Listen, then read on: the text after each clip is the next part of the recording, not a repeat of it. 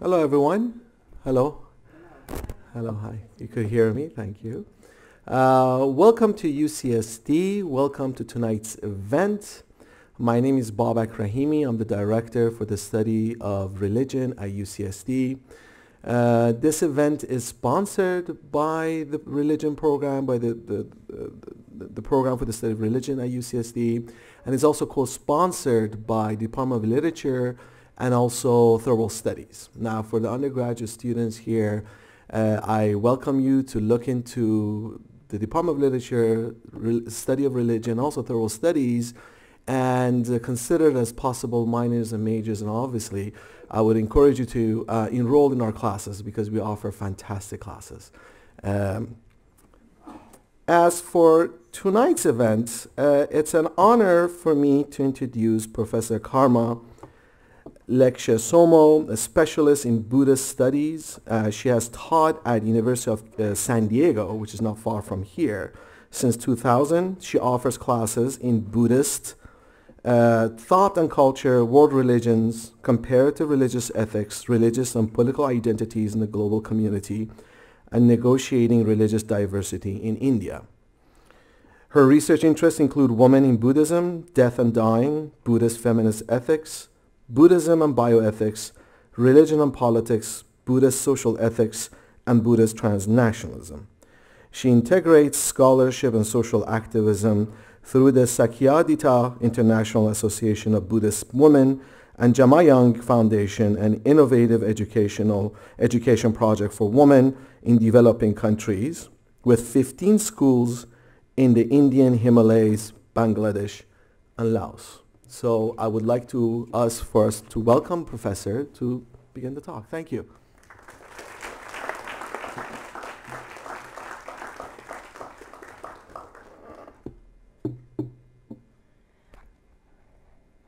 Good evening, aloha, and tashi dele.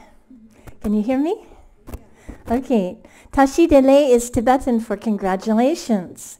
You are alive. Yeah, it's the standard greeting in Tibetan. So I'm very pleased and honored to be um, invited this evening to speak on the life and legacy of the 14th Dalai Lama of Tibet. So uh, I understand that you're going to have um, commencement speaker this year.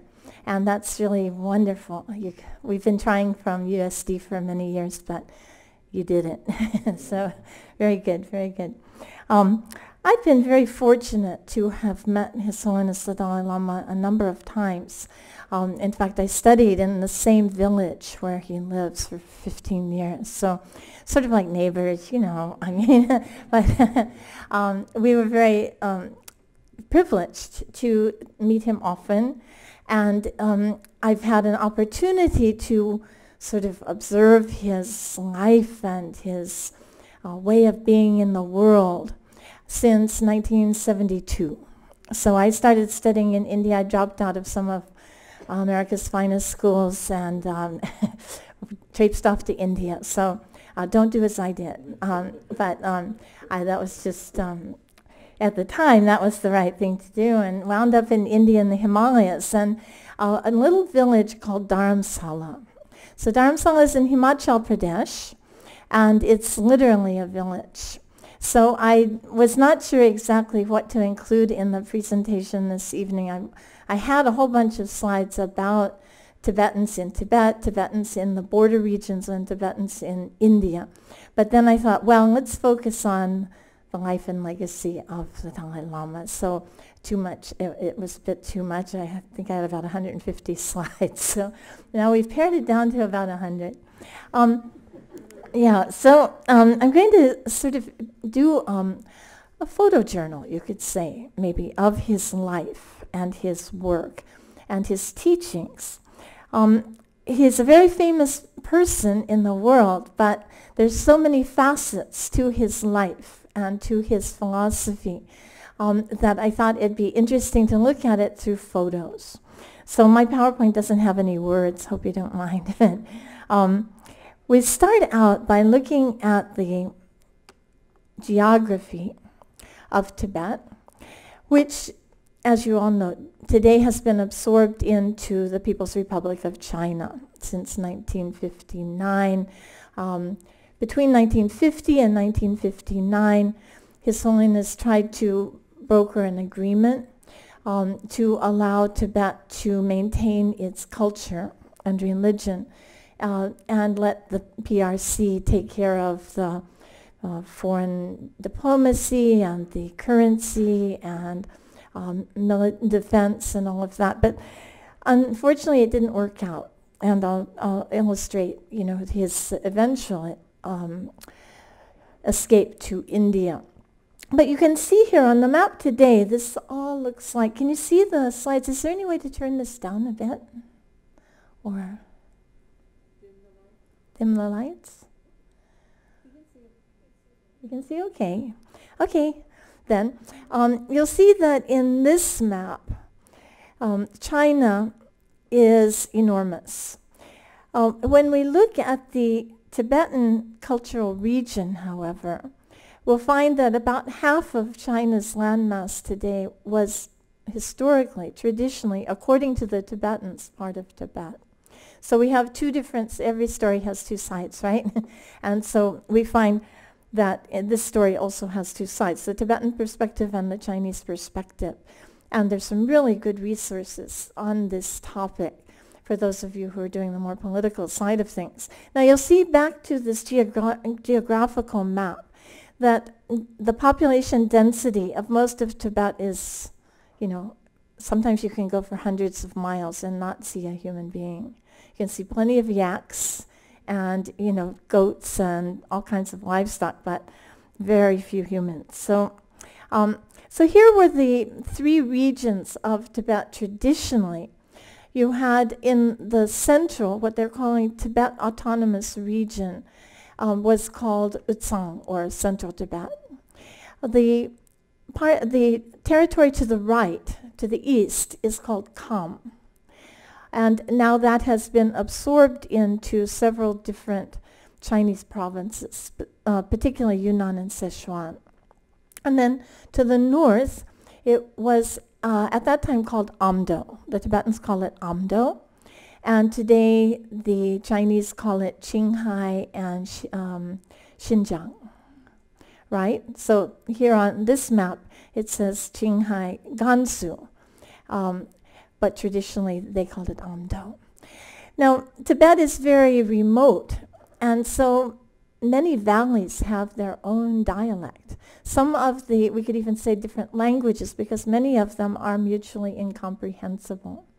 So um, today, the language has been standardized a great deal through the media. But more than Tibetan now, these days, Chinese language is being promoted uh, in the schools. So you've probably been following the news with the language riots and the grade school children uh, marching for the right to study Tibetan. Anyway, um, Tibet has been in the news a lot over the years. The most recent protests were in 2008. And you can see from the red dots on this map that there were, it was quite extensive. It was not simply in central Tibet. It was all over the map, literally. I've been to Tibet three times and always wearing Chinese or Vietnamese robes. um, this was the first trip in 1982. In 1982, there were only 26 open cities in China. The first foreigners who traveled to China must have complained a great deal because they just closed it down. And there were only certain hotels in certain cities that we were allowed to stay in. And I finally got permission to go into this area of Tibet, what, what is traditionally considered Tibet in Amdo. Um, somehow the Chinese thought I might have a Chinese grandfather. Maybe they were just being kind, but somehow they gave me a permit to tra- travel into this area, but I wasn't able to travel to Lhasa. Uh, this particular monastery is called Labalangsi in, in Chinese uh, and Kumbum, J Kumbum in Tibetan. Um, it's, it was huge, a learning center until, 19, until the 1950s. And they had, um, in fact, the abbot was one of the brothers of His Holiness. And this is in the area where the Dalai Lama was born.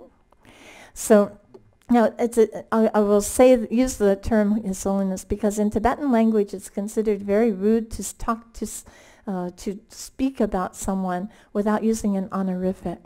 In our language, I mean, we address people by their first names often, which is, has changed. When I was a kid, you weren't allowed to address an adult by their first name, right? But today it's quite common. So in Asian societies, normally one does not speak the name of the person, but uses some kind of um, workaround. So in the case of an elevated person, um, in the religious sphere in Tibetan, they would usually say His Holiness. In Tibetan, they call him the Presence, uh, Kundun. And there's a film by that name, which I highly recommend. if you're interested in learning more about his life and legacy, there are two films that I highly recommend. The first one is called Cry of the Snow Lion. Mm-hmm. It's a documentary, a really good one, with music by Philip Glass. And then another one is Kundun, Martin Scorsese. It's um, a feature film, but based on historical research. In fact, um, His Holiness' sister-in-law was the research director on the film, so it's quite accurate um, from the Tibetan perspective. And so, but it didn't stay in the theaters for very long due to um, pressure from yeah, the PRC.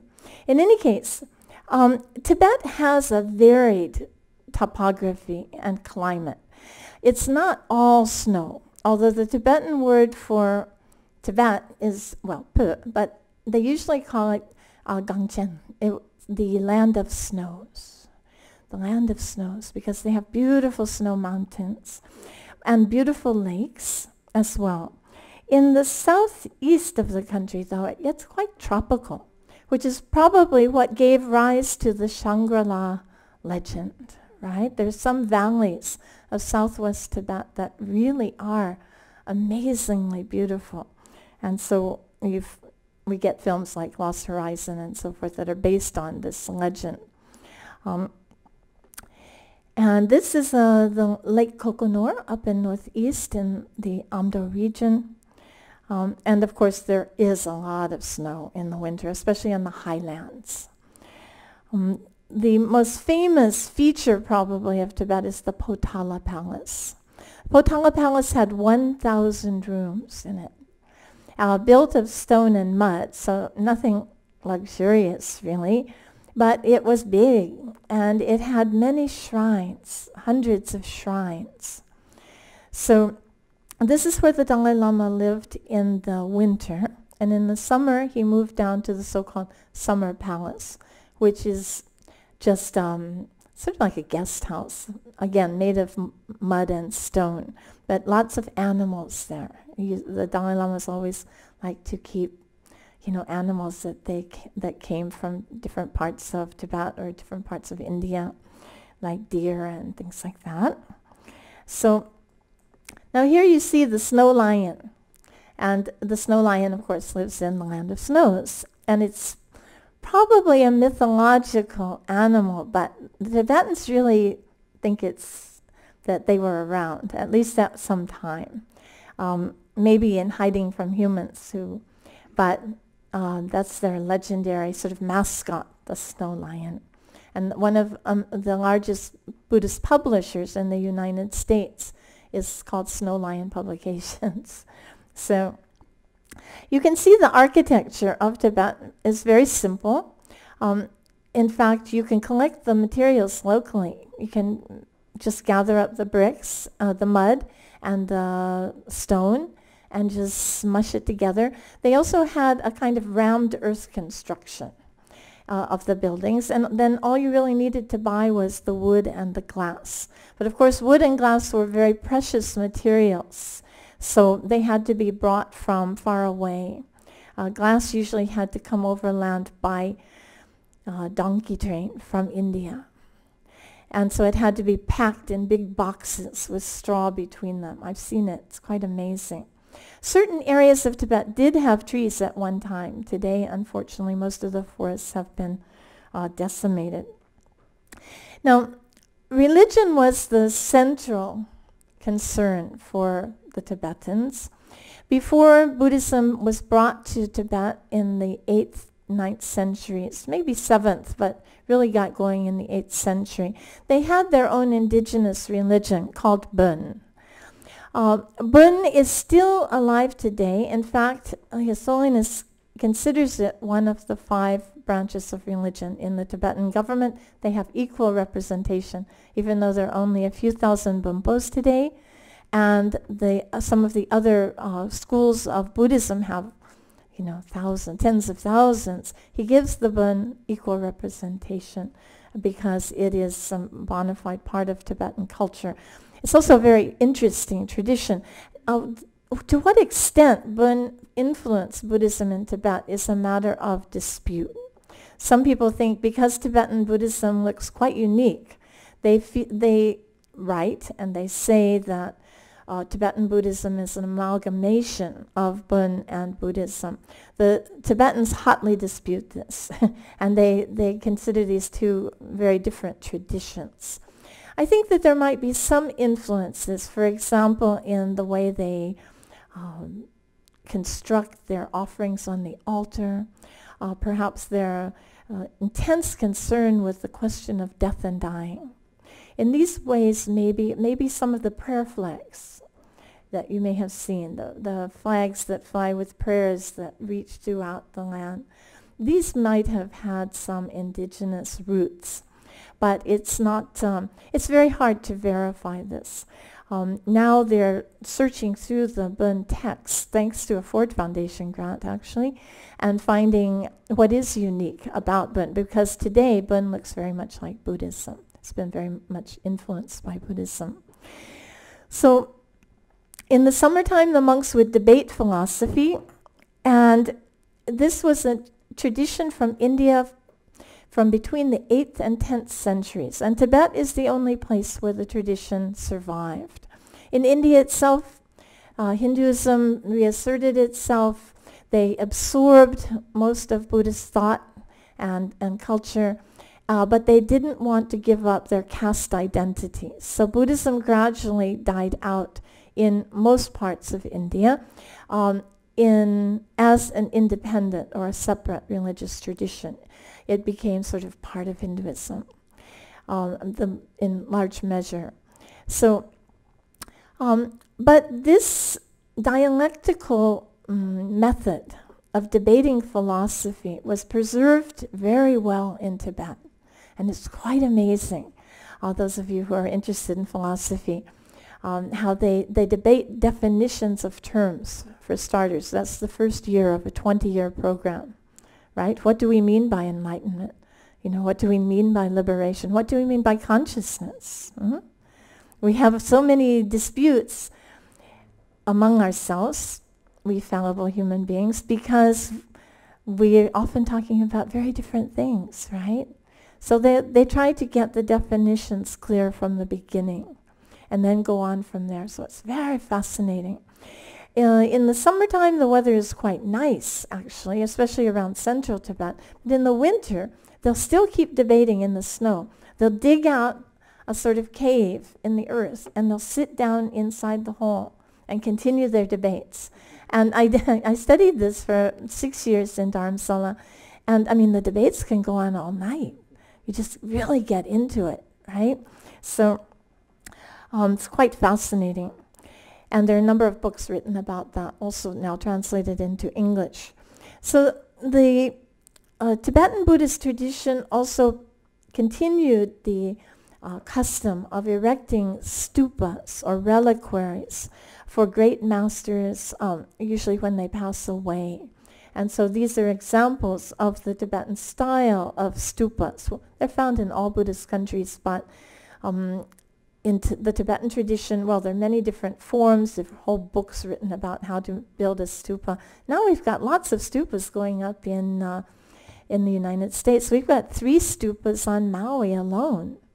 Yeah, I was lucky to be at the consecration of all three of them. So it's a kind of, um, you know, place where people can be in a good spiritual mood, do some meditation, Um, usually the Tibetans will circumambulate them uh, as a sacred place. Inside the stupa there will often be relics of great masters. There may be sacred texts. There may be sacred images, images of the Buddha and the Bodhisattvas and so forth. And so it's considered meritorious to circumambulate such a stupa or temple. Mm, here are the prayer flags that I mentioned before. They're simple pieces of cloth strung together and block printed with a prayer. And then as the wind blows, they believe that the wind blows the prayers over the area for the peace and well-being of everyone who lives there, including the animals. Right? So now the story of the Dalai Lama goes back to the 15th century. And uh, the Dalai Lama that we're talking about primarily tonight is the 14th in a series of recognized reincarnate lamas. Now this presupposes the theory of rebirth, which the, the Tibetans inherited from Indian Buddhist tradition. Uh, according to the Tibetans, uh, the word Tibetan Buddhism is a misnomer. The, His Holiness says either it's Buddhism or it's not Buddhism. you know, so they they contest the idea that Tibetan Buddhism is something different, alien, and um, some of that is this perception of Tibetan Buddhism as alien um, has its root with the Christian missionaries who came to Tibet and did not recognize the tantric tradition as the uh, tradition that was popular in the mm, 12th, 13th, 14th centuries in India and, and even up to today. And so they thought it was devil worship. And so Tibetan Buddhism got um, categorized as something, something different, something sort of um, scary and mysterious. They even called it Lamaism at one time. So I think um, that is part of the legacy of the 14th Dalai Lama, is that he's helped to clarify what Tibetan Buddhism is and what it is not. So mostly when he goes uh, to travel, he teaches peace and compassion beyond religions, as he says. He says, my religion is loving kindness. But he, when he speaks to Buddhist audiences, then he tries to, uh, he gives amazing teachings. And uh, his mind is just beyond. so uh, he explains in detail, you know, all of the philosophical nuances of the tradition and explains that it all has its roots in India. So now, the figure that we're seeing here is the 13th Dalai Lama. The 13th Dalai Lama uh, lived until 1933. And he was a great teacher also and a great statesperson. He was also quite radical in certain ways. Um, he had prophesied that Tibet would come under some threat. And he advised the Tibetans to be virtuous and to shore up their religious traditions and not to get involved in all of the, you know, delusions and um, sort of uh, conflicts and all of this sort of thing, to keep on the right path. He was radical in that he promoted Western education. Until that time, mostly education was conducted in the monasteries. And the monasteries were for men. So that left women out of the picture. Uh, as I'll show you later, we're making up for lost time now and trying to establish uh, philosophical studies for women, and it's going very well. But for hundreds of years in Tibet, the education was centralized in the monasteries, and they had uh, brilliant teachers, brilliant uh, textbooks, uh, and brilliant teaching method where they actually debate all of these fine points of philosophy and you challenge one another. So when I was studying in India, we had six hours a day of debate, right? And you had to study in, in advance. It's sort of like what they got flipping the, flipping the classroom. Oh yeah, because if you didn't study, when you get on the debate court, it's embarrassing. So you have to do your homework in advance. And then when you get together, then you quiz each other in minute detail. And it, it's so interesting. So, so that was the system. And when the 13th Dalai Lama started to promote Western education, it was at first the, the great monasteries rejected it. They resisted it because they were afraid that if they opened up to Western education, they would lose their own traditions, that Buddhism would decline. Uh, nevertheless, the 13th Dalai Lama insisted on sending uh, six young men to England. They traveled on Tibetan passports, and they went to study uh, engineering and military science and subjects like this to try to help Tibet modernize and move into the modern world. Um, he also advocated for the establishment of a military. And this was also hotly rejected by the monastic um, institutions. They thought that this was completely against the Buddhist teachings. Uh, in retrospect, of course, he was right because, well, from a tradition, I mean, a contemporary sort of secular perspective, because when Tibet was invaded, they had no, I mean, they had about 6,000 muskets from, you know, the 19th century or something that weren't even working. So they didn't have much of a defense system at all. And uh, so in any case, at one time he was so adamant about these reforms that he fired all the abbots of the big monasteries, the three great monasteries in Tibet, Ganden, Drepung, and Sera. Each one was like a city in itself with a, over 10,000 monks, a whole yeah, community there. Self-sufficient community, basically, except they were dependent for food on the local community. Uh, but that was pretty simple because mostly the Tibetans ate tsamba. Tsamba is ground barley flour. It's a very convenient food because you can harvest it once a year, roast it, grind it, and then carry it in a little bag and then all you need is your butter tea and you mix it together and then, you know, that's breakfast, that's lunch, that's dinner. It's, and then if you want to go into retreat, you just take a big bag of tsampa, and, you know, a skin full of butter and all you need is to collect some water from the stream and boil it up and you're done, right? So uh, in any case, in these big monasteries then, uh, like any institution, sometimes they get fossilized. And for example, with so many monks living together, you have to have a system of distribution. Now, in the Buddhist tradition, the practice of generosity is highly recommended. So giving, they say giving. So to give food um, to the poor, especially to give food to the monastics and to the monasteries, is thought to be good karma and to have good consequences in the future. So Tibetans would off make offerings of tsampa or barley flour to the monasteries. And then it was up to the officials or the workers in the monastery to distribute it. And the way they did it was that all the monks would gather for puja in the morning. Puja means a religious service. So they would get together and chant for a couple of hours. And during that chanting, they would come, the, the young monks would come running in with the tea, and they'd pour everybody a cup of tea, and then everybody would pull out their bag of tsampa and make their breakfast or their lunch or their dinner. That's the way things worked, and it still works that way uh, to a great extent. I was just in India in January with the Kalachakra celebration in uh, Bodh Gaya, where the Buddha got enlightened. And the little monks would race in with the tea, and it was almost like being in Tibetan. So, in any case, he chucked a lot of them and tried to start all over again. But in the end, um, his intention of trying to, well, especially to implement land reform, because the monasteries themselves, because of this policy or this, this ideal of generosity, when people died, they would also give lands to the monasteries. So the monasteries did have large land holdings. And that was a point that later the communists criticized a great deal.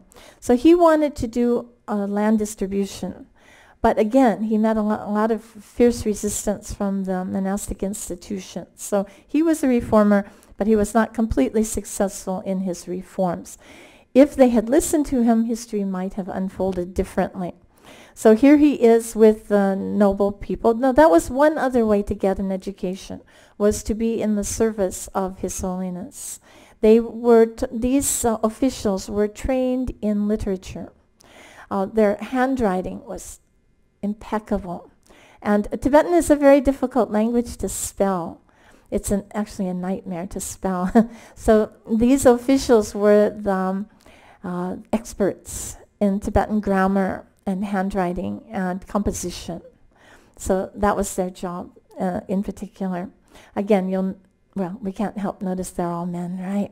With our modern sensibility, I just had to notice. So, so there he was, uh, the 13th Dalai Lama. And then he also made some predictions that there would be harsh times coming to Tibet. And you can read some of his works. They've been translated now into English. Um, the rebirth, his rebirth then, you see, he's the 13th in the lineage. And the 14th then they set out to find. So how did they do it? Well, the uh, attendants and the, the, great lamas around the previous Dalai Lama, the 13th, then set out on a search mission to find the 14th. And this is what you can see portrayed so brilliantly in the film Kundun. It's, it's the very first scene, is that the search party arrives. Now they sort of leave out the part about how the officials went to follow up on all of the tips, the clues that they saw, and many of them were sort of mystical. For example, they went out to a lake, and in the lake they saw certain letters that directed them to the northeast of the country. Many of them had dreams, right? Um, and visions, like visions of a monastery with a gold roof on a hill, and down below a farmhouse with a blue tiled roof and a dog with a spot on one eye. And then they also, where they, when they, uh, they didn't bury the 13th, they they set him upright, his body upright, and his body turned to the northeast direction. There were also many sightings of moss growing on trees in the northeast, which is very unusual. Obviously, normally it would be in the southern direction with the sun. So this all led to the idea that the 14th Dalai Lama would be born in the northeast. So they set out on a search party and they arrived at this house um, with uh, a farmhouse with a farming family with uh, several children already, uh, two girls and uh, three boys already. And some of them had already been recognized as reincarnate lamas. So they sort of tested the young baby here, shown in his mother's arms, um, with uh, prayer beads. And this is also uh, you know, brilliantly portrayed in the film Kundun. And what they did was to reverse roles. The servants dressed up as lamas, and the lamas dressed as servants, just to sort of mix it up a bit, right? But when they came in, the boy was immediately attracted to the prayer beads of one of the so-called servants. And he reached out for it, and the Lama said, I'll give it to you if you know who, if you say who, who I am. And he said, Lama. So, oh, um, he, they were starting to believe that this might be the right child. The golden boy, right? Eddie Murphy did a really bad film on, on this. But anyway, so then they came back the next year. They went back to Lhasa, which was about a six-month journey, and they reported what they had found. And they came back the following year and did a formal test. Um, it's the way they do it is to lay out the possessions of the previous Dalai Lama or previous Lama. He's not the only one. There are about 300 different lineages of these reincarnate Lamas. Uh, they, they lay out possessions of his next to a copy, a duplicate. Often a duplicate that's fancier, you know, shinier, uh, newer, prettier that a kid might like, right? And then they check to see whether the child selects the correct item that had belonged to him in the past. Now, most of these 300 lineages are male. There are few females uh, who are recognized as reincarnate lamas, but very few. So most of them are male. So in this case, they had his teacup. It's indispensable for a Tibetan. Okay, Tibetans drink up to 60 cups of tea a day, which reminds me. yeah, so 30 to 60 cups of butter tea a day. Imagine that keeps them nice and warm. So, and they continue this tradition in India as well. I mean, at least, yeah, 30 cups a day, I would say is about right. So and then they had the prayer beads. Well, he'd already selected the prayer, prayer beads. They had his glasses, um, and they had his walking stick. Now, in the walking stick, as you see in the film, he, he hesitated when they he couldn't quite decide which walking stick to choose, and you can see that they were really worried about that. But in the end, he selected the correct one. Later on, they found that actually the other walking stick had belonged to him at one time. So that was um, quite amazing. But he in, invariably selected the correct item. Therefore, they knew that he was, in fact, or they decided that he was, in fact, the correct um, rebirth of the previous Dalai Lama. And they arranged to take him to Lhasa. Um, at that time, this area of Tibet was already coming under the influence of these Chinese warlords and they had to pay some kind of ransom to get him out. But they didn't say he was the Dalai Lama. They just said maybe some kind of Lama. And so, um, the, luckily, we do have some photos of him. This is my favorite. It's so adorable. and you see the Tibetan clothes and the little um, pundit's hat. Actually, this is a pundit's hat from India, but it really caught on in Tibet, and they they still wear them today. Um, so I, I just um, am so grateful that someone took these photos and managed to preserve them over, over the years. Um, he was a fairly naughty boy. Uh, he was always, you know, having fights with his brother and so forth, but um, he was quite precocious, you could say. Um, his mother was extremely loving. He talked so affectionately of her, and her biography has just been published. So um, he was taken then to Lhasa for education and was eventually enthroned as the 14th Dalai Lama, just still a child, yeah? Um, he wasn't completely lonely. Of course, he did have to separate from his uh, parents once he stayed in the Potala Palace because no women were allowed to enter the Potala Palace. At least they could not stay there overnight. So, uh, but he did have a whole crew of loving caretakers, monks, and some of them were sort of like playmates for him. He talks about them sometimes and how he misses them. So his mother did come to visit sometimes. His father was um, quite a wild man, and um, so, but they moved to Lhasa, so he did get to see them sometimes. So you see the little Tibetan outfit, so cute. and yeah, so um, he had a very strict schedule of studies.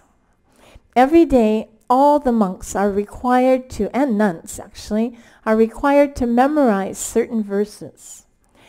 And they are given the verses in the morning and then they're tested on them at night. Now today in our modern education systems, we don't do much memorization. But even when I was a child, we had to memorize a poem every week, right? And that, yeah, good. Some of you had that too. Uh, in Tibet, that's that's the deal. You know, you memorize the book first, and then you learn what it means, and that continues until the present day. So, so he had a lot of work to do, and sometimes he was quite naughty, and he got scolded. so here's another picture of his family. Um, with his um, older sister, younger sister, and one brother. Okay, Galtendu. Yeah, so this is after they moved to Lhasa. Then they had a high status, so they were given a house and so forth. And he, staying in the Potala, then was expected to perform a lot of ritual activities, sort of formalities of the position, you might say.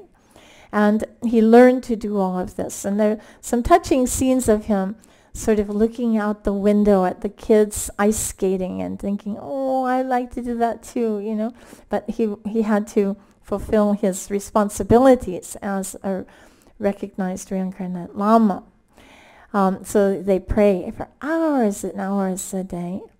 And then people will come for blessings, they'll come for advice and so forth. So it's quite a heavy responsibility for a young child. Now I went to school with a number of these tulkus, they're called tulkus, recognized reincarnate lamas, because many of them lost their monasteries in Tibet. And then when the um, attendants from their previous, the previous lama went to search for the child, they would uh, find them, but there was no monastery for him to go to. So they would bring the child to our school. So we had uh, probably about 10 or 12 of these reincarnate lamas. I was always a little bit jealous of them because they could memorize so quickly. It's al- it was almost as if they were just remembering something they already knew. They just take the book and it, you know, amazing. And they were also quite naughty. Oh. but they all turned out well. It's quite remarkable. So, but of course, he is the highest, uh, recognized as the highest of all the tulkus. And uh, they had a sort of a schedule, you know, a ranking system in Tibet. Uh, this is another one of my fa- favorite pictures. So obviously it was posed, um, but he looks so sweet. And yeah, this was his playmate, his his um, favorite playmate, I think, attendant to Pala, and is mentioned. He mentions him in all of his books because he looked after him like a mother. Now, because of the changing circumstances in Tibet, he was required to take his exams for the Geshe degree when he was still very young. They wanted him to take over the government because the the flaw in this system is that during the minority of the Dalai Lama, someone else is in charge. And we all know how that can go, right? The powers at court and so forth, competition and so forth. So they wanted him to take over the reins, reins of government. And he really was reluctant to do that because he was just a kid. Um, but the first step was to take his Geshe exams. Now, the Geshe exams is sometimes they call it a doctorate in philosophy. Um, uh, uh, similar, but it doesn't have the liberal arts component. Basically, they study five sciences, medicine, the arts, and so forth. Uh, but mostly it's about philosophy. Uh, you don't need to study other languages, even Sanskrit, although Sanskrit words are incorporated into Tibetan language, so they do know some. And so here he is shown taking his Geshe exams in front of thousands of monks, monk scholars, right? And he has to debate them and answer their questions. And it's really quite scary. I mean, because it's not like, you know, our exams where we can uh, prepare in advance. I mean, any question can get thrown at you at any time and you have to answer properly. And the way the logic system goes is that one question leads to another, and eventually it sort of shows the limits of logic. You can take any position you want. You know, there is a God, there isn't a God, there, enlightenment happens, enlightenment doesn't happen. You can take any position, but you have to be able to defend it using logical reasoning. So, anyway, he passed his exams with flying colors. And then he was asked to take over the reins of government. So in that position then he was invited to Beijing in the 50s. And he went to Beijing to try to argue for the freedom of his country. So between 1950 and 1959, he really tried to work out some kind of resolution to this impasse. Now the tensions between China and Tibet had been uh, there, had been building for centuries. You can read the history. At one time, Tibet even conquered much of China in the 7th century. But they had what they called a Lama-patron relationship. So Chogyal Pakpa, who was the great Sakya Lama, was, you know, a, a teacher of Qianlong Emperor, the Emperor Qianlong. And from their side, obviously, from the Tibetan perspective, the spiritual teacher is is the higher uh, ranking of the two. The patron is, right, just the sponsor, right?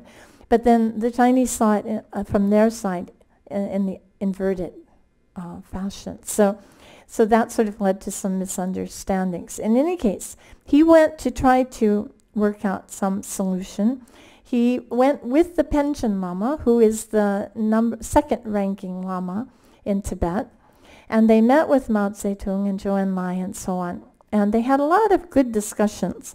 For the occasion, they dressed him up in this, you know, sort of ancient style, which uh, is not typical for a monk but because of his position, they asked him to wear this very, very traditional, um, sort of fancy, formal garb.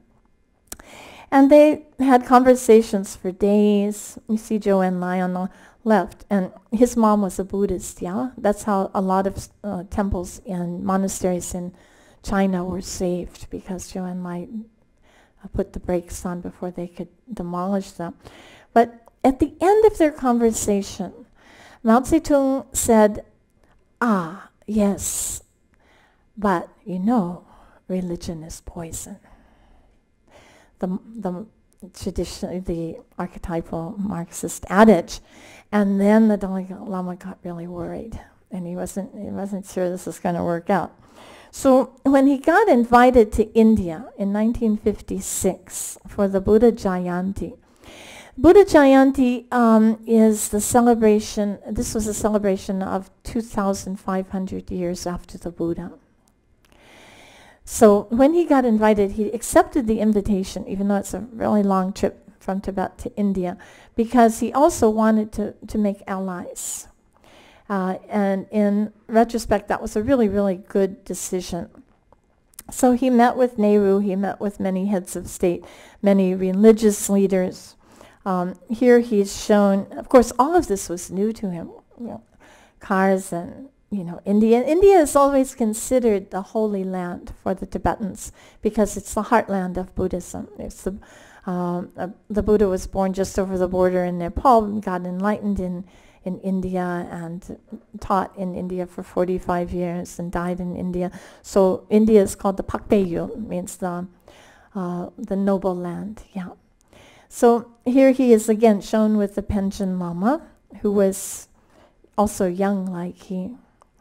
Uh, and this is at the Theosophical Society in India. So he was definitely making alliances here and there. In the end, um, there came a time when the situation was untenable. They were getting reports of lamas who had been kidnapped and disappeared. And many had been killed and at first, in 1950, when the Chinese came in, they passed out silver dollars and were really friendly. But later, the, the situation changed. And because the lamas were so highly respected, this really worried the Tibetans that um, they weren't dealing with someone who respected religion. They were dealing with something that they hadn't encountered before. So one day in 2000, um, sorry, in 1959, the Chinese government invited His Holiness to a drama performance. But they insisted that he come without any uh, bodyguard, no security. And His Holiness said, oh, fine, no problem.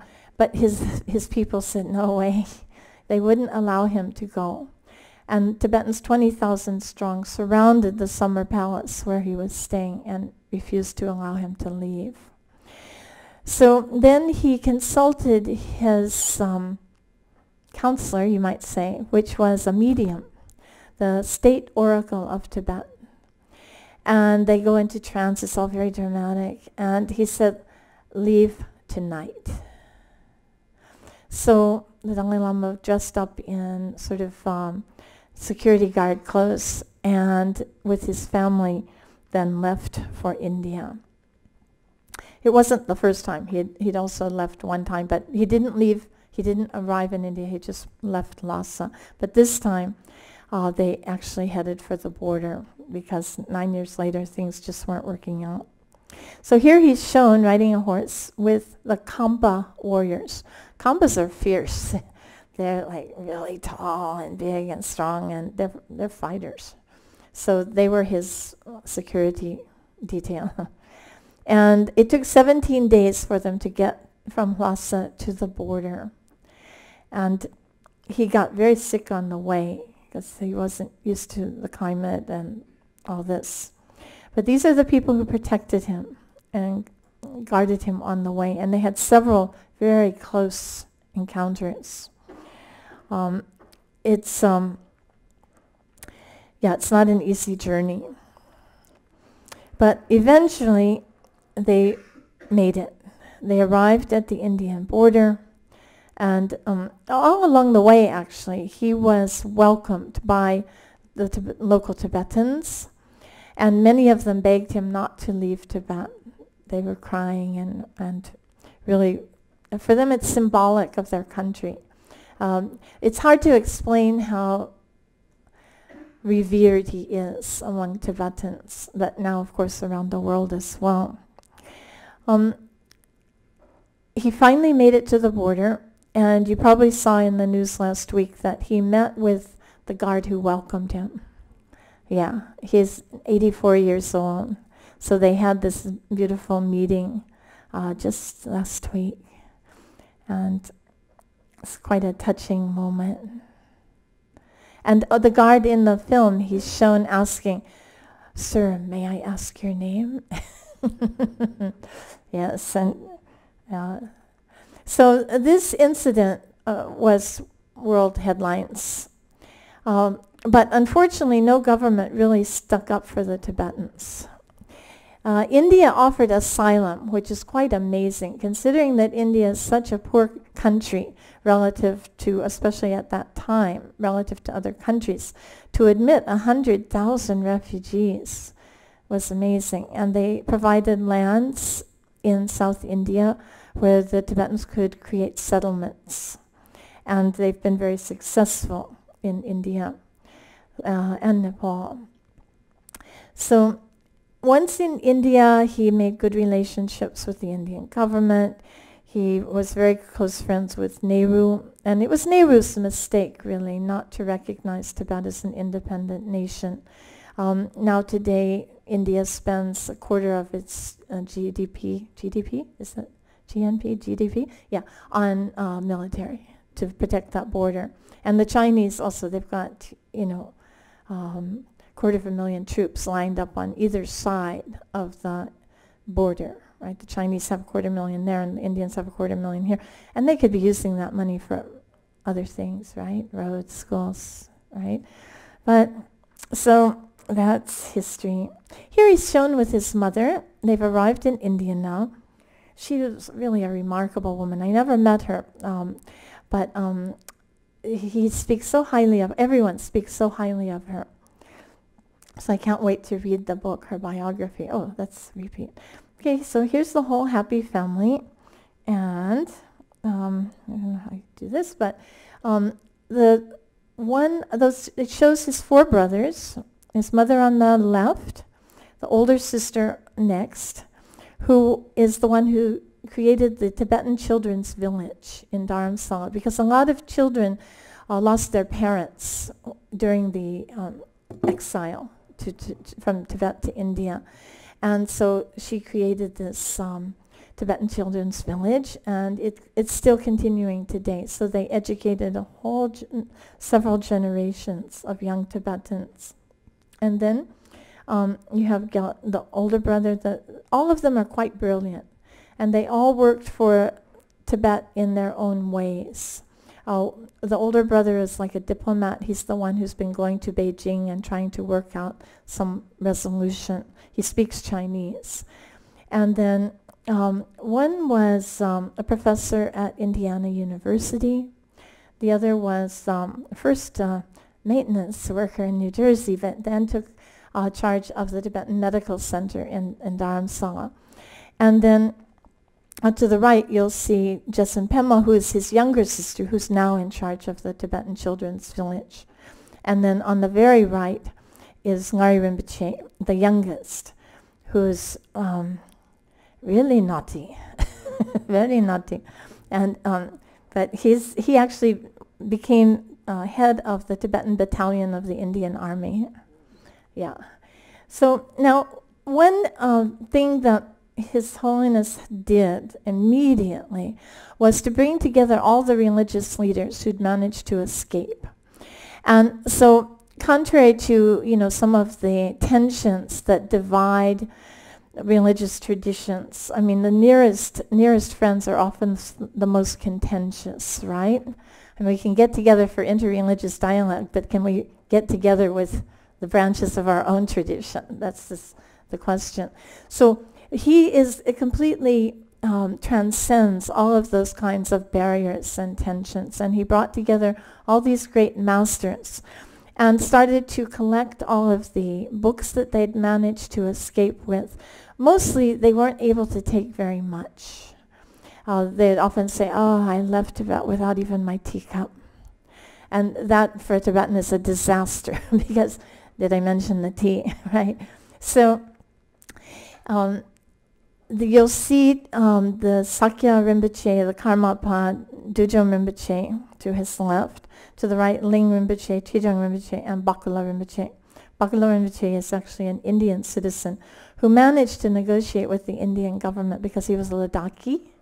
And so his, they are like Tibetans, but they're Indian citizens. So in 1904, when the British drew the McMahon line for British India, right, they drew it at the top of the Himalayas. So the people who fell on the Indian side of the border became Indian citizens. Well, that actually worked out pretty well for them because they were able to um, to maintain their traditions. The, the downside was that they were cut off from their religious heartland, which was Lhasa, and all of the sacred sites of Tibet. There are hundreds and thousands of sacred sites in Tibet because of all these. They, they were not so much concerned about material technology, they were concerned about spiritual technology. And they developed it to an extraordinary level. So um, the Ladakhis and all of these border people used to send their sons to, to Tibet to study, but now that was cut off. In fact, many of them were arrested and spent jail time, but the Indian government got them out because they were Indian citizens. I know some of them. Um, in any case, so that was an important thing. He immediately set out giving teachings because he wanted to preserve the culture of Tibet. And Buddhism is a large part of Tibetan culture. It's, yeah, it's a major part. And here you can see in very humble circumstances, he would just teach whoever came, and he still does that. Uh, I, mean, I mentioned that I just went to this huge gathering in Gaya, and people come from all around the world. There was translation into 60 languages. I mean, one of the biggest contingents was from Russia. Yeah. I mean, there's three Buddhist republics of Russia, right? Uh, including one that's in Europe. Did you know that? And they're all, they all follow the Tibetan Buddhist tradition and they now they're they have money, they can travel, so they come to India for teachings. And um, even there have been some tulkus now born in families, in Russian families. So primarily, um, His Holiness meditates about eight hours a day, somewhere between five and eight hours a day. Um, so he's a, a combination of someone who's very, very traditional, because that's his role, is to protect the tradition, and at the same time, he's very modern in outlook. He also reads 13 newspapers a day. So um, I've seen him uh, on occasion when they bring in, they used to bring in this jade cup for him to drink his tea out of, right? And they'll cover their mouth with a white cloth. And they'll bring in the jade cups so that they don't contaminate it with their foul breath, right? But then His Holiness said, no, no, no, no more jade cups. He wanted uh, an enamel mug with a yak on it. so, so they said, yes, Your Holiness, yes, Your Holiness. So they went and found a, an enamel mug with a yak on it. And then from that time on, they come in with their mouths covered, holding the enamel mug for him to drink his tea from. It's hilarious. Um, he, he meets with um, people from around the world because I was out in the courtyard debating for six hours a day. I saw the famous people that came to, to see him. I didn't always know who they were, but you know, if it's like the Prince of Denmark or something, then word would get around. so, um, and he'd also meet some of these meditators that were invited to um, universities, uh, University of Virginia, Boston University, and so forth, uh, to be tested for um, their meditation practice. They would hook them up to electrodes and try to uh, find out what the uh, physiological and psychological benefits of meditation were.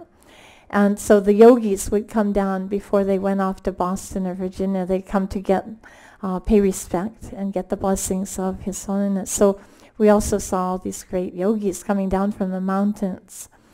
Um, in 1959, he was awarded the Nobel Peace Prize. Um, I remember very clearly in August because I was in Tijuana hospital with snake bite, and it came on the TV. So that was very uplifting. yeah. Um, he was also uh, awarded the uh, Congressional Gold Medal for his work for uh, humanity. He's been awarded any number of honorary degrees from many universities. And so people recognize him as an example of a of an ethical person, you might say. Yeah, which is, seems to be in short supply these days. So, um, he also met many of the most famous people of our day, like Thomas Merton would come to Dharamsala and they had wonderful discussions he would meet with uh, groups of, of Christians and Jews and Muslims. He still does all the time. I remember there was a time when uh, some Christian brothers came to meet with him, and they had two days of wonderful discussions, and they agreed on so much, and they were also very respectful of their differences. And then finally, their discussions concluded on very happy note, lots of respect both directions. And then he said, "Oh, I have one more question." How do you support your monastery? And said, oh, we make wine and sell it. oh, so from a, a, Buddhist perspective, I mean, you're not supposed to drink, right? And um, and you're not supposed to make your living off of uh, that kind of thing. So it was really a sparkling moment of religious difference, actually. Um, he also met, of course, with Mother Teresa, and one of his best friends is Archbishop Desmond Tutu. So they've just become the closest of pals. And a new book has come out. Um, a friend gave me the Book of Joy. So these two are like um, peas in a pod. and they tease each other and they have discussions, they have debates, and it's hilarious. And um, Desmond Tutu, oh, it's moving. Oh, I'm so glad. So you can see that he's he knows how to boogie, and it's clear that the Dalai Lama doesn't know how to boogie. so, so cute. yeah. So His Holiness has visited Hawaii a number of times. Um, in 1994, I invited him to, to Honolulu, and he made a four-day visit both to Oahu and to uh, the Big Island. And he gave many events. One was um, a huge um, uh, gathering at the Waikiki Shell for uh, maybe 7,000 people. And then he gave a day-long academic event. He also met with Native Hawaiian leaders. And um, we also had an interfaith event, which was really lovely. So, and then we invited him for tea. but he doesn't drink tea. He doesn't eat after 12. He keeps the monastic discipline very strictly. Uh, and so we served him hot water. but, um, he's met with um, President Obama a number of times. um, sometimes through the back door, sometimes through the front door. But and um, actually, Obama's sister is a Buddhist, but they didn't mention that during the campaign. so uh, they had some really nice discussions too. He has met with Aung San Suu Kyi, who is now the de facto um, prime minister of Myanmar, and um, so he, he's met with a lot of world leaders. Um, he's made a lot of changes in India. Uh, as I mentioned, in some ways he's very, very traditional. For example, he'll never, he'll never wear a sweater. Why? Because the Buddha didn't wear a sweater. and because it's the tradition. You know, tradition, yeah. Tradition is very important in terms of maintaining one's culture. And when one's culture has almost been literally destroyed, people become really um, keen to preserve whatever they can, whatever is left of the tradition. So he considers wearing the robes and this particular style is very, very important. And it's uh, said to be there's a prophecy that the decline of the of the Dharma, of the Buddhist teachings, will be when the monks just start wearing any old thing. So he, he tries to keep up um, certain dress code. And um, at the same time, he's so open-minded, uh, especially in encouraging women's education. So those schools that he started in the Tibetan Children's Village admitted girls as well as boys, and that's completely changed Tibetan society. So now we have um, young women going to law school, medical school, and so forth and, and in, pretty equal numbers. So, um, of course, it, it, takes more than one generation to change attitudes towards women, but it's really remarkable how, how much progress has been made. In the nuns community, for example, before the nuns did not wear the yellow robe in Tibet. But when I asked him, why, why don't the nuns wear the yellow robe? And he said, oh, they don't? Oh, and that afternoon he announced that nuns henceforth should wear the yellow robe. It was as easy as that. Right? And then um, one time I asked him, why aren't nuns allowed to attend the Great Prayer Festival? In Tibet, it was only for monks, right? And he said, oh, they're not attending? Oh, they must attend. and then he changed it. You know, he can change things just like that because he's the leader, right? and they all respect him so highly. Now he's been trying to retire. And now he has retired the last 10 years completely. But he was trying for many years to retire from his position and to establish a democratic form of government. So they established a democratic form of government in the Tibetan exile community, but they would always vote him as the president. right? So, mm, so he said, mm, that's not what I mean. it, said, you have to elect your leaders. They said, yes, we want you. And he said, no, no, no, you don't get it. so it took some time, but finally he did uh, retire once and for all. And Lobsang Sangay, who was uh, trained in the United States as a lawyer, is now the head of the Tibetan government. So um, he wants to try to institute systems that would work uh, uh when Tibet achieves its uh, independence. But he hasn't been talking independence. Now, this is the interesting thing, is that he renounced any um, intention uh, to be, for Tibet to become an independent state in 1986 at the Strasbourg Accords. He said he was quite, uh, he, he would be fine with Tibet being part of, of China um, uh, as long as Tibet could maintain its culture its ident- cultural identity and its religion. Um, so the claim that he is a separatist is kind of moot because he gave that up a long time, 20, more than 20 years ago, right? Eh? 30? 30, thank you. um, so um, he's quite broad-minded in that way. We still have the question of full ordination for women, so we've been in dialogue with him about that for also about 30 years. And um, it's starting to move forward now. So we've done the research and we've tried to, um, you know, find all of the arguments against the full ordination of women. It's, it's not a matter simply of religious discrimination. It's a sort of a, a point of monastic law and the different procedures for ordination. And so uh, we're working on that now, and it looks like we're going to have a breakthrough soon. Because um, women in December, 20 nuns took the Geshe degree, the highest degree in philosophy, for the first time in a thousand years. So this was such a breakthrough for women. Uh, and I, I don't know if the world noticed, but it was a huge breakthrough. And they've worked very, very hard, and 20 of them were successful in passing these incredibly difficult exams, including six of my students, so I'm really pleased with them. Um, and, and it will not be the only time that women have the opportunity to take the exams. The system will continue. That's very important too. It's, um, now here's the uh, rebirth of the Panchen Lama.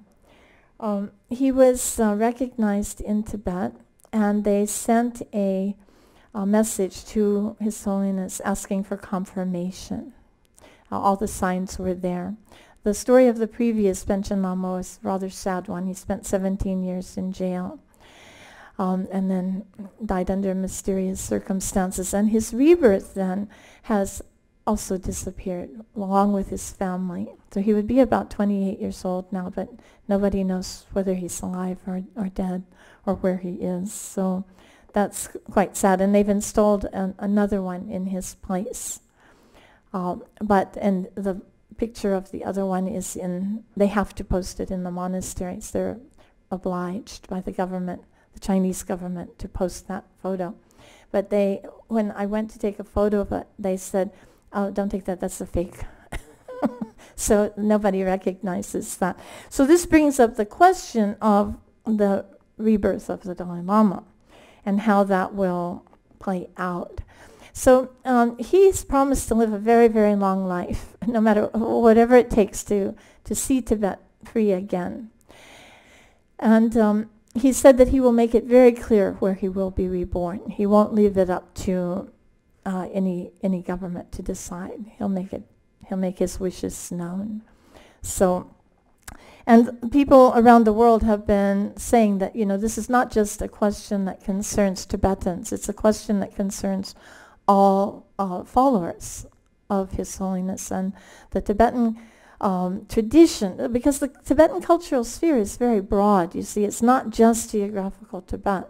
It reaches into the Himalayan areas of India, throughout Nepal, uh, Bhutan, uh, eastern India, and then up to uh, over to Bhutan and up to Mongolia and into the Russian Republic. So it's um, and now of course all around the world with books like this. You know, people are sharing uh, Buddhist ideas, and he lectures here and there on on uh, Tibetan culture and Buddhist ideas. So. Um, so this is uh, just um, a painting of him. the young Tibetans love to paint His image and uh, here and there. It's quite a good one, I think. But um, so that's a sort of introduction to the life and legacy of the 14th Dalai Lama. Um, I have many stories I could tell. I mean, I remember the first time I had an interview with him, actually was 1972. And at that time, I was not yet a nun. I was a lay woman. And I was dressed in Tibetan clothes, which is con- considered respectful for going to, to, to meet him. And I had my hair in pigtails, you know, in coral and turquoise and all. And um, I had just completed a master's degree with a thesis on emptiness, the Buddhist, um, the Mahayana concept of the um, ultimately uh, empty nature of all phenomena. And so when I went to see him, I borrowed a tape recorder and some tapes and took it into the audience and I asked if I could tape the interview and he said, oh yes. And I had eight questions. The first question was, in some Western spiritualist traditions, they say that once you take a human rebirth, you do not devolve, you can only evolve. His answer was, you can be reborn as anything, anytime. Oops. okay, so next question. Um, the other seven questions, his answers were all about emptiness. It was remarkable. No matter what the question, he brought it back to the, the uh, philosophical concept of this lack of independent existence of phenomena. So I was delighted. My friend and I were just delighted to meet him. And when I got home, I went, you know, with great glee to listen to the tape, and it was empty. well, it sort of makes sense in a, a kind of sense, right? so um, I remember one time my mother came to India to visit me, um, sort of suddenly, and um, Islam was always very kind to meet the parents of those of us who studied because he said we had come from such a long distance and he wanted to meet our parents. So uh, I applied for an um, audience with him uh, for my mother and myself. And she'd flown in from Honolulu and we were going up to the mountain and then it started to rain. And, she's, and she sat and she said she wasn't going said, Mom. she said, no, it's raining. I said, but Mom, it's the Dalai Lama. She said, I don't care. so then, oh, what was I going to do?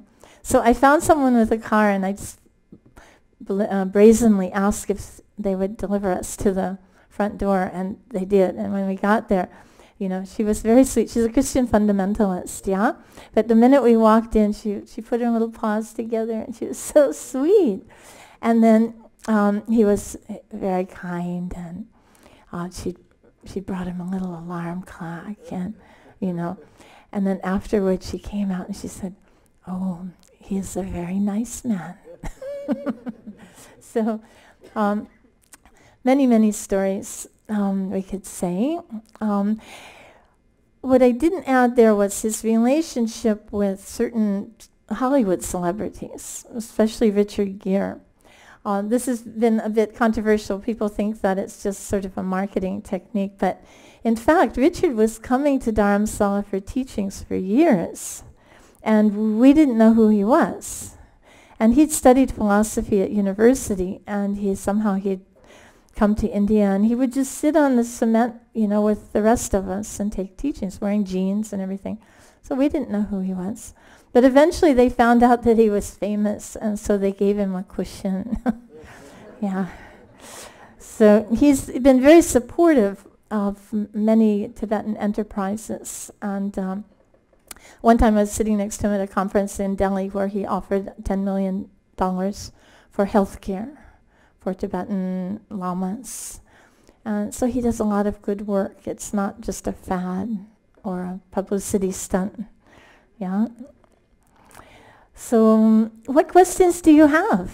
So we are, we are open to questions. There are two microphones there. So in case you have any questions, please, uh, we invite you to ask questions.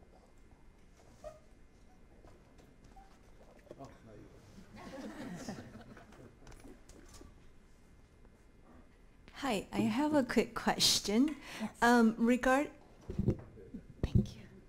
Regarding the Panchen Lama, the one that Ch uh, China installed, I heard that he escaped the China control or whatever, and is now and has met with the Dalai Lama and is now mm -hmm. free. Is that mm -hmm. true? Um, that's um, the story of the Karmapa. The um, Gyalwa Karmapa, yeah, thanks for this question. Um, the Karmapa is a different Tulku lineage. In fact, it was the first Tulku lineage in Tibet. Um, and he, the Karmapa is ranked about 13th in this ranking system. And he was born in Tibet, uh, recognized that quite at an early age. Um, he had left a letter describing where he would be born. He'd escaped Tibet uh, rather early, in 1956. He saw it coming, and he'd uh, settled in Sikkim, which was at that time, you know, well, let's see, it got taken over in 76 by India. But he came out in about, oh yeah, he came out in 56, so 20 years. So it was still an independent Buddhist kingdom at that time. And um, he um, taught in India, and he was a very famous Lama. And then he passed away in 1982. And his rebirth was found in Tibet and recognized. And he was installed in Tsurphu Monastery, which is just well, if the roads were good, it would be just an hour outside of Lhasa, but it took us about three hours over bumpy roads. So uh, he was installed there and uh, started his education. And um, he escaped about 10 years ago to India. It's quite amazing. And he's fluent in Chinese as well as Tibetan. He's quite brilliant. And he's been under the, under the supervision, the care of the Dalai Lama since he arrived in India. Um, and they found a, a monastery they, for him to stay in. Provi- His Holiness provided everything for him, including tutors, so that he could become uh, the great teacher that he's developing into. Um, he's quite in- an interesting figure uh, in that he's a feminist and he's a vegetarian and an animal rights activist uh, in, and um, environmentalist, so and fluent English.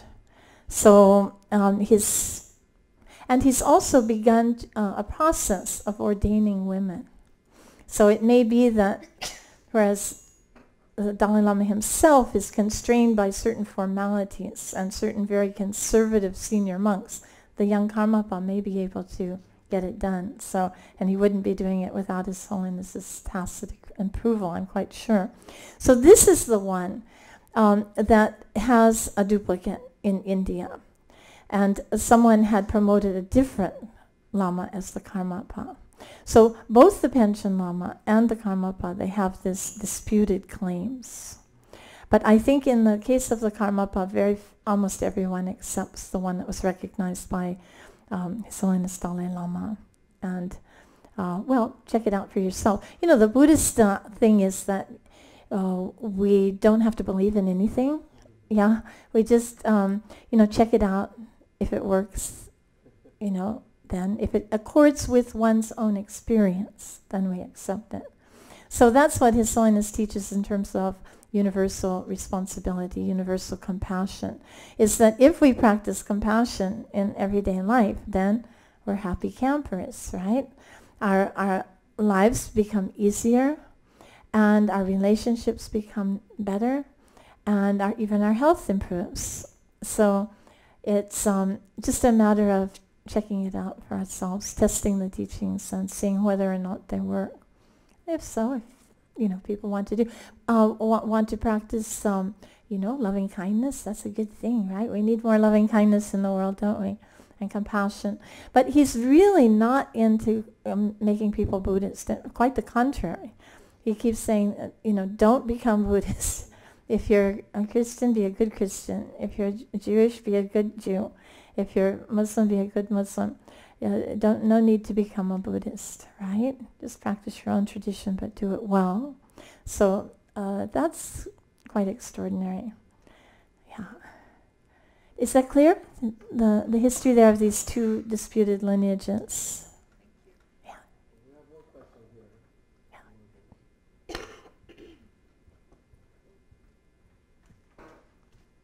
Hello. Hi. Uh, this is a little bit of a personal question, but I just was asking what's one thing that you believe can lead to a life full of happiness? Oh. I, I know it's a little bit away from the Dalai Lama, but you know. Well, it's actually quite appropriate because that's the kind of thing that he talks about all the time. it's really very simple. All we have to do is get over our self-cherishing, right? It's our attachment to self that makes us so unhappy. So by grasping at our own benefit, we're never satisfied. But when we work for the happiness of others, we naturally become happy. Right? So it's all a factor of compassion and loving kindness for others. And if we could just gradually let go of our self-concern, our self-interest, our selfishness, basically, then it frees up so much energy, right? And that spacious quality of, of mind is what's so, so pleasant, what we call happiness, right? That was very poetic, thank you.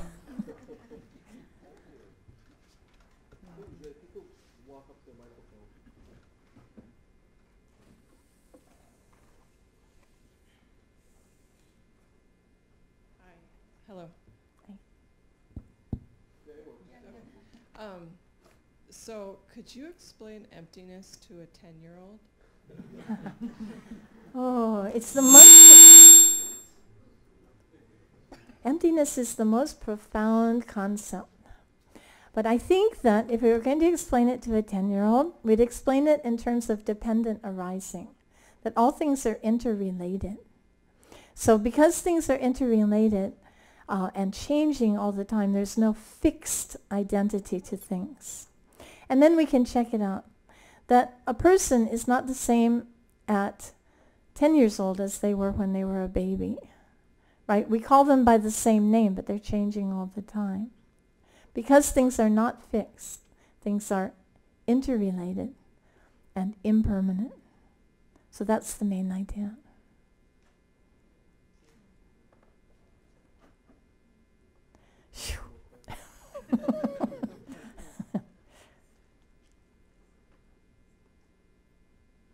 Is there a copy of your thesis available to be read? Oh, actually, you know, I'm so sorry, but I burned it.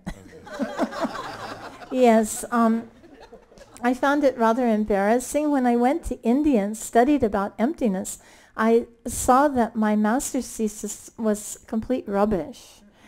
And so I um, lit a fire in Manoa Valley, and with the resident Lama together, I threw it into the flames, and we got busted by the Honolulu Police Department, who came up and said, oh, no open burning. And I said, yes, officer, I, I totally understand, and put in the last pages. So fortunately, there is no embarrassing remains. okay, thank you. You're welcome. But I do have uh, some explanation in a book called uh, Into the Jaws of Yama, Buddhism, Bioethics, and Death. So if you're interested in the topic, uh, you might um, be interested in that book.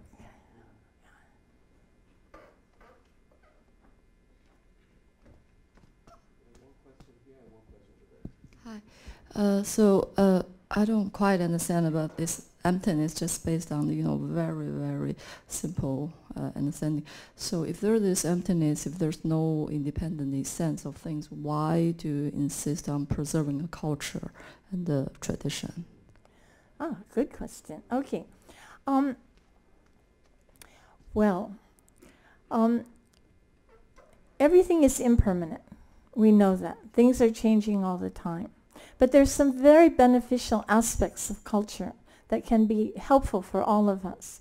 Like questions about ethics, questions about compassion, uh, wisdom, the wisdom traditions all have something to say, right? So uh, emptiness does not mean that things don't exist. It just means that all we have to do is put a match to this and it's, it's up in flames, right? Everything is impermanent, changing all the time. Uh, so that that's the. It doesn't mean that cult. I mean, of course, cultures change also.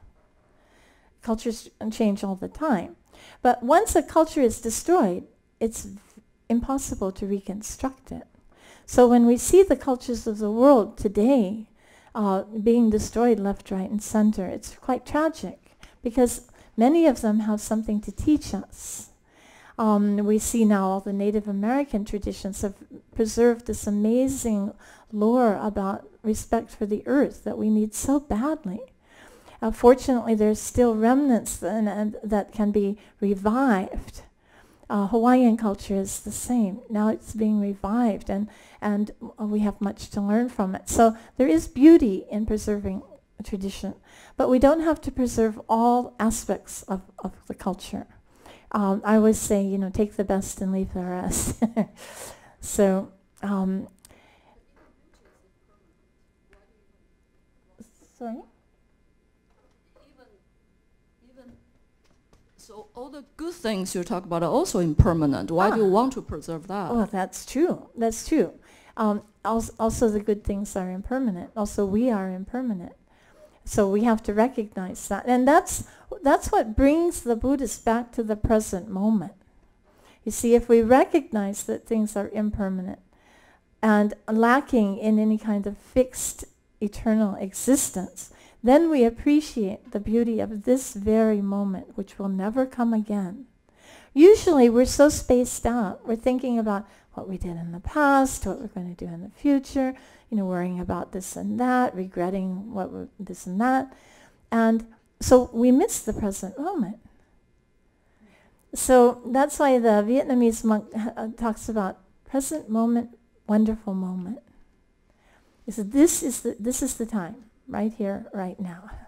This moment is absolutely precious and we, if we live completely in the moment, then we can let go of our attachments to past and future, all of our fantasies and this and that, and be perfectly content and happy right now. So it's a win-win.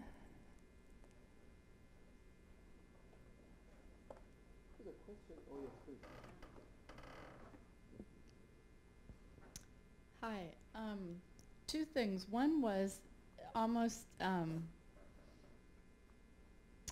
a fluffy question, which was about the photographs that you showed initially, because they were so beautiful, and I was just wondering what the background was in terms of not even the Dalai Lama, the obviously the older pictures, but just the more recent ones, if those were your photographs or Yes, um, some of them are, but most of the old ones I cribbed off the internet. Yeah. Okay.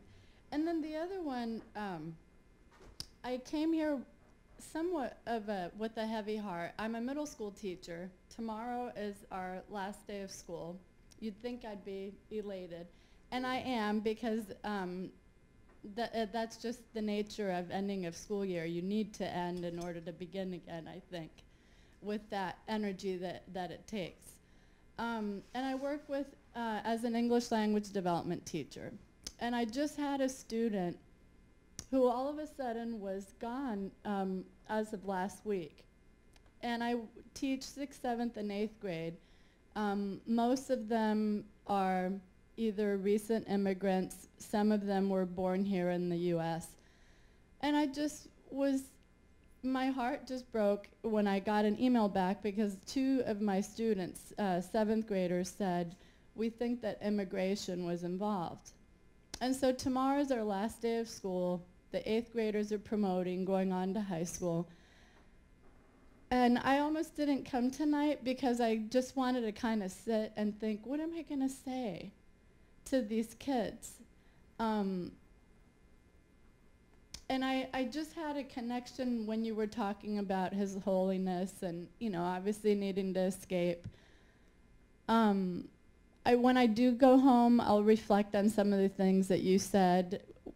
We've talked, I think you know, a little bit about my practice. Um, so I'll keep all those things in mind, but I'm also curious, what do you have to say? This was the email that I got from the person that works with the migrant workers which is his family. She said, I just talked to one of the family friends, and yes, sadly, last week they had their court date, and their request for asylum was declined, and they were deported last Thursday. And I have his little things there that I was waiting to give back to him. He just got an award for seventh grade, cause, and he literally, like what you just said, and I'm sorry I'm talking so much, um, he would, he would literally, I would say, okay, we're going to focus on a science article. He would like clap his hands with glee, you know? So I'm just sad for him and his family. I hope certainly the best for them, but also for myself as a teacher, the heaviness of that and how I have that compassion for these kids that I do have and just in general. So I'm sorry to be so long-winded. No. Well, thank you for sharing your experience because it is really tragic. And it's mm, one of many tragedies, um, especially refugee uh, tragedies that we read about and hear about and see. Um, and so many other problems too that hu humanity is facing, especially right now, I believe. So I think that um, I, I don't get any royalties or anything from this book, but um, it, actually it was the eBay people who, who produced this book of joy. But there are a lot of tips in here that you might find interesting. I bet it's going to show up in the public libraries because it really helps um, understand how to overcome sadness and how to recover a sense of joy um, in uh, the, the, every moment of daily life. Um, it's uh, not a matter of forgetting, but there is, by this method of generating compassion for living beings, uh, the possibility to maintain a joyful state of mind. And we're, we're going to need that. We're going to need a joyful state of mind because if we're sunk uh, in sadness, we cannot be very effective in the world. And I, I was part of the movement in the, Berkeley in the 60s, you know, and we, I, I witnessed how easy it is to fall into despair and anger, and then from there it's just a small step to violence. So, um, and in the end, it, it, it doesn't work well. So the idea of keeping a happy heart so that we can be more effective in reaching out to our students. I mean, bad things are going to happen. Um, children get sick. Um, some of my students have even committed suicide. I mean, how do you how do you cope with that? And so we, I think that this method of learning to um, keep uh, a joyful spirit, a, a compassionate heart that remembers the sufferings of living beings and generates, consciously generates loving kindness toward them. And it has the effect of uh, healing our hearts. So it's very practical and it's, it's can be practiced by everyone. So going into the classroom uh, tomorrow, uh, and you have many other students too who need you. They need your, your joy. They need your positive outlook and your loving kindness. So uh, I think that it's a challenge, but I think it's one that you, you can learn to handle. We, we all can learn to handle right? Because hardships are going to arise. That's the Buddha's first first teaching. You know, problems are going to arise. That's inevitable within the human condition. But how do we handle them, right? That's the main thing. How can we change our perspective on the issue? Um, remembering that this one child is, is just one. There are also millions of others who are displaced now. And then also, I'm, I'm an activist. I think that we can sign those petitions and we can work um, to change the laws and we can make our voices heard in terms of immigration and so many other um, political uh, problems too. Yeah. So, carry on.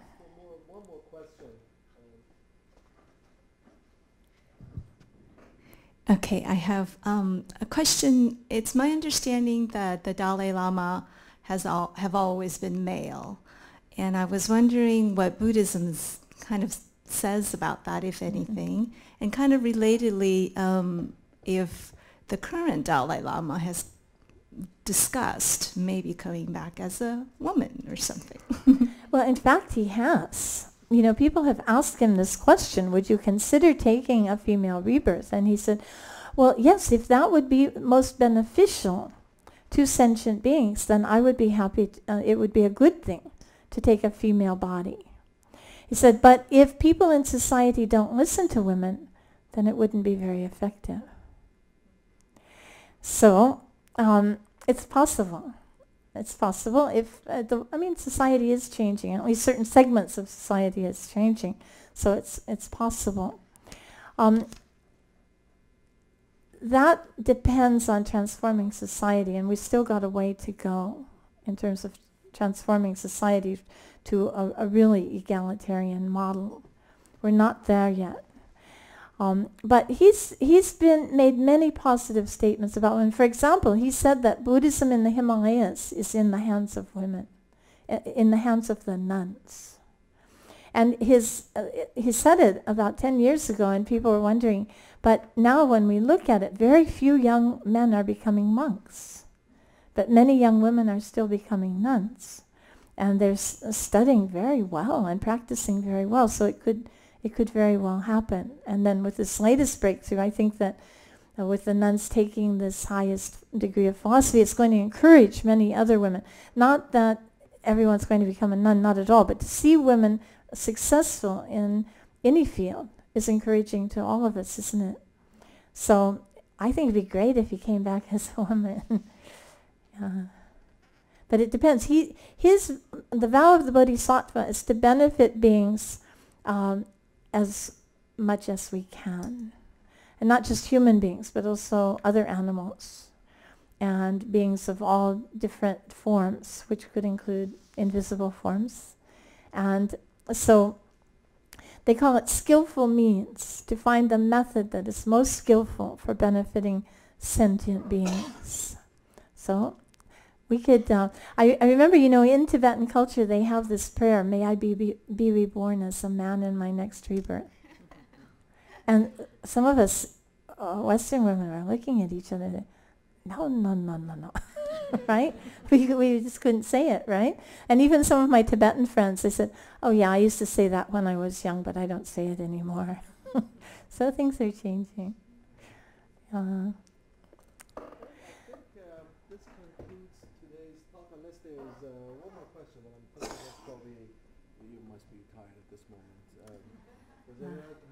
another question? Maybe one last question from you, Jim. We'll make this the last one.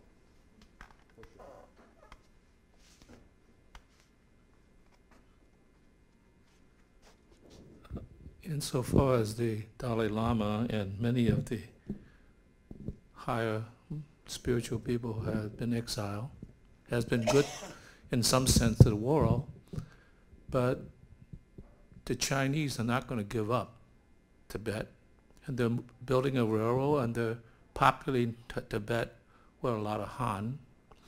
So how does the Dalai Lama and the exile community seek to reconcile this gap between the spiritual culture and the incoming influx of Han people that's going to transform, if not decimate, the original culture I mean, he seemed to have recognized, as you say, in 1986, that is not going to be a separate, but is going to, he's okay with being part of China, but as long as it remains in independence in terms of culture. So I'm sort of wondering how does that jive in terms of the political situation and the spiritual situation?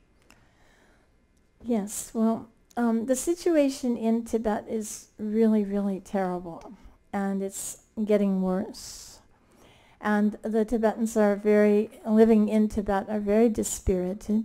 They say it's like living in prison. And they're rewarded for becoming like Han. You know, the better you speak Chinese, the faster you're promoted and so forth.